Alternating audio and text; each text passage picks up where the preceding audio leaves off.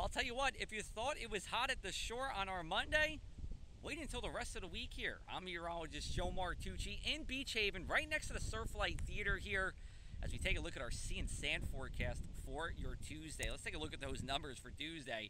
Uh, we're going to be in the mid to upper 80s just about everywhere here. That southwest wind, that's going to pump up our dew points into the mid 70s. That is oppressive and pretty similar to what we had on our Monday, but these temperatures just a little bit warmer for the most part. We'll have a mix of sun and clouds.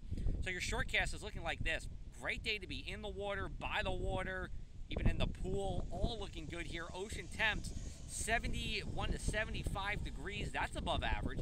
Low risk for rip currents. Wave heights have decreased from what we saw over the weekend, and no rain for your Tuesday. We're going to have more details for you on how hot we're going to get in our Wednesday morning, excuse me, Tuesday morning video. You can check that out on social media. You can also find that on our website. You can find the direct link there, pressafac.com.